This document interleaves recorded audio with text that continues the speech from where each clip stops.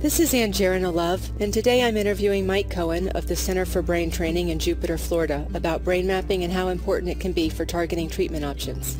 Mike, to start with, why don't you take a minute or two and tell us about your clinic and your experience in neurofeedback?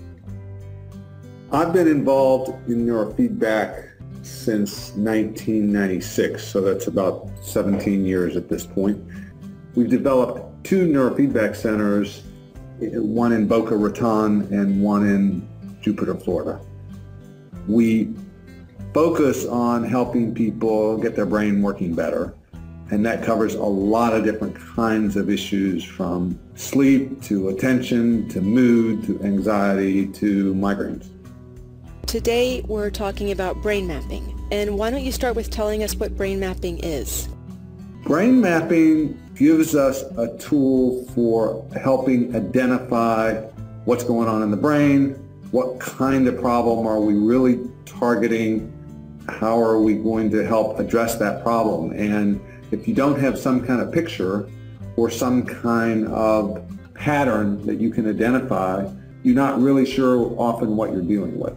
There's a variety of different kinds of brain maps including SPECT scans and MRIs and something called quantitative EEG. We focus on quantitative EEG uh, type brain maps because it most correlates to a lot of how we process information. And why is a brain map important for what you do with neurofeedback?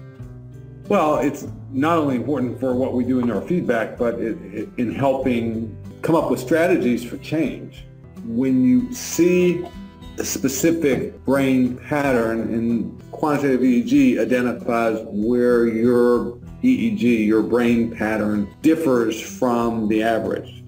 If there is a significant difference in your left temporal lobe compared to other people's left temporal lobe, what is that affecting and how does that create some of the problems that you may be dealing with and that you don't that you inadvertently don't even know?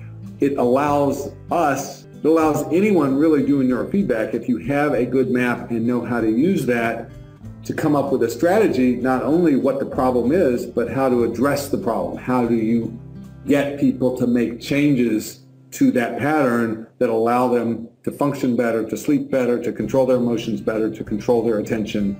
It's a very practical tool and sometimes it helps identify what medication might be appropriate.